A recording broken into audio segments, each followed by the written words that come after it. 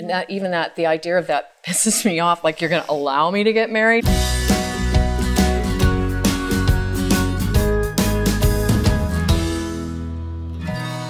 So let's talk about gay marriage.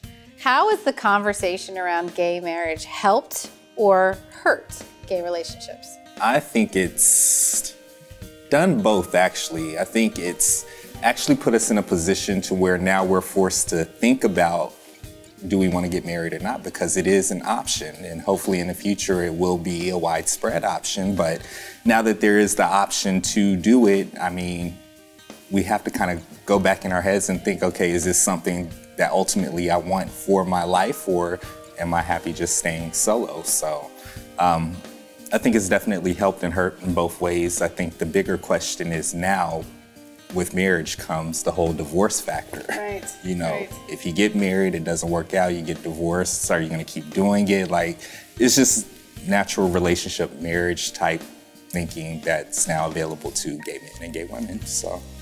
Mm-hmm. Well, you know, in, in a sense, some of that's been available anyway. I mean, you know, couples that have gotten together, they bought a house together, there's no marriage contract of any kind, and when they split, they still have to go through mm-hmm. how do we divide our assets, how do we move on? And I, I've met, uh, you know, I, I know and have worked with women who are, I mean, they're, they're trying to date and they're in the throes of, trying to have this non-divorce divorce that's much more difficult because it's not so clean cut. Yeah. And marriage maybe makes that process a little cleaner, but I think it does throw us into the place of having to have conversations that maybe a lot of women or men don't want to have. Like, I'm not into getting married. I never was into getting married, and now because it's legal where I live, now I have to have this conversation. Mm-hmm. Um, so it can really shift the balance or the course of a relationship in ways that in states where it's not legal, it's pretty straightforward. You know, we can't.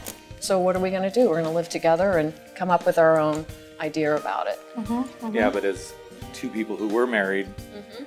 I go, what, what the fuck are you guys thinking? Why do you want to do this? Well, um, shake my sake. hand. I think the same. I, I 23 years of marriage. I'm like, been there, done that. I'm not in a rush to do it again. But it's not. I'm not opposed to it because I think there's a beautiful piece for those who haven't been through that experience. Mm-hmm to really validate, okay, this is what it means to really step up to the plate and be in a committed relationship. But I don't need a goddamn piece of paper to tell me that. I mean, my partner and I have been together for 12 years, and I know we're here because we want to be here. However, to flip the coin, I want to be recognized for what I'm putting into this relationship on a federal basis. Yeah. And when I have to fight for stuff that everybody else can go get. I mean, if Mary and I, God forbid, wanted to go get married right now, we could get married. Yeah, we'd probably be okay together. we could be okay, yeah. We could walk out this door right now and go do this, and we would have every right and every benefit. And every benefit. And to me, that's just wrong. What I'm finding that's really interesting in the San Francisco Bay Area, um, in my community, is that I feel like people aren't talking about it as much as I would think that they would be talking about it. Yeah. And it's almost like I feel like they're afraid to talk about it because we were fooled, sort of fooled once into thinking that this is gonna happen. We're really gonna finally get this, and then all of a sudden it gets pulled away from us. And it's almost like people aren't willing to even think about it so much. They don't wanna entertain the idea because they're worried about the disappointment, is what I'm thinking. It doesn't come up a lot in conversation. Like, I think it's a combination of the two conversations you've had. One is that like gay, the gay marriage being on the table forces gay couples to have the conversation of, do we want to be bonded in this legally committed way, which for some people is a no right? right.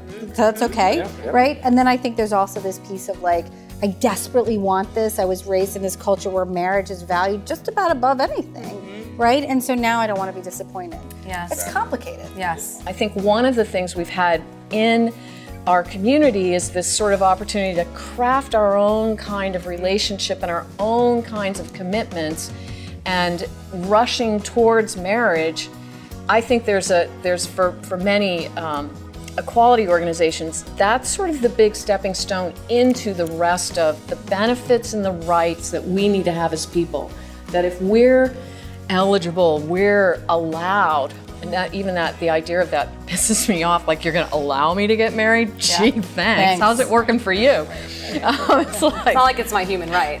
yeah. yeah, but it, it, it is you know a word we used earlier. It humanizes us to a lot of people who otherwise have marginalized who the LGBT community is. Mm-hmm, mm-hmm. So the question of gay marriage is obviously quite complicated, and it sounds like for our culture it's incredibly necessary. Whether we are fully into exploring it yet remains to be seen. We need to consider gay divorce, we need to consider all of the financial implications at the national level, and we need to keep talking about this. And it sounds like the media helps, but it sounds like we need, as leaders in the field, to really be helping too.